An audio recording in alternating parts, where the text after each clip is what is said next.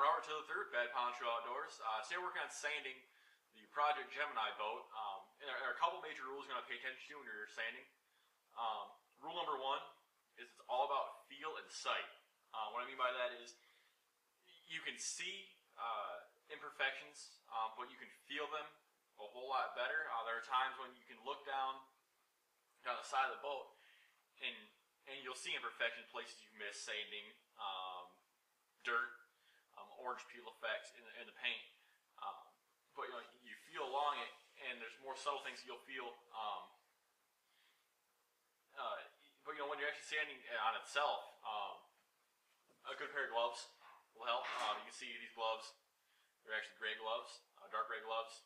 They're covered in white paint, um, and they're roughly they're pretty much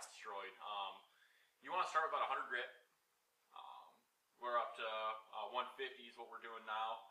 Um, and you know, the higher you get, the the uh, less harsh it is on the paint.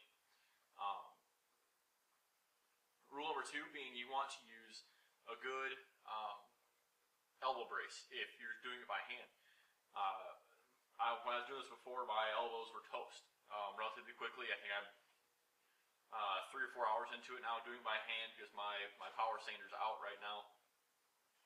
Uh, and I'm wearing Swiftwick uh, arm sleeves. Um, they're generally designed for people, uh, runners, athletes, stuff like that, but I'm using them today as, uh, as elbow um, braces and man, it's made a pretty big difference. Um, it also helps keep you cooler if you're not overheating like you do with some of the uh, the neoprene sleeves. Uh, you know, another major rule when you're doing this is, uh, like I was saying, sight before, but you want to make sure you have a clean work surface. Um, you can see and feel everything uh, that's that you're doing. Um, you know, so, so keep a wet towel nearby, uh, water bottle, something like to kind of keep the the, uh, the paint getting wet. Um, and this is uh, polyurethane paint over top of uh, gel coat, which did not adhere properly. Um, they, they, should have used primer. They should use self-etching primer at that.